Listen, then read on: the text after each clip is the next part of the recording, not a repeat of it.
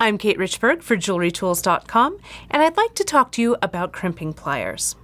Now, a crimping plier is what you use to close a crimp bead around nylon coated beading wire to attach a clasp to the end of that beading wire.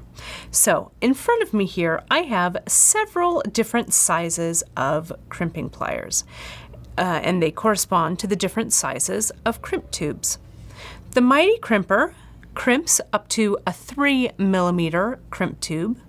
The micro crimper crimps those small 1 millimeter um, crimp tubes. Here, just the regular, um, the regular old original crimp plier. This is perfect for that 2 millimeter by 2 millimeter crimp tube. And the pocket crimper is also good for that 2 by 2 crimp tube, but it's super tiny, so you can just put it right into your little tool case when you go to class.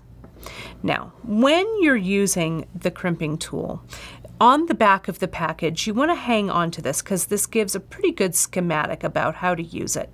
But you can see here are the, the tips of the plier right here.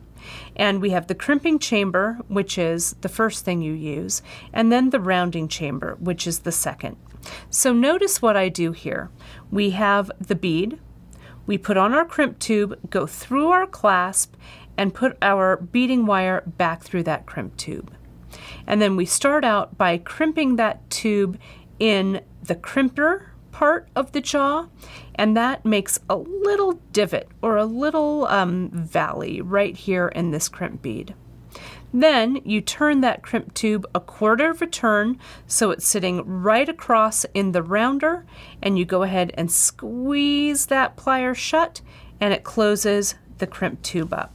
And you can see here how we've got that crimp tube and it's being squeezed shut perfectly every time. A crimping plier is the perfect tool for getting crimp tubes to stay where you put them.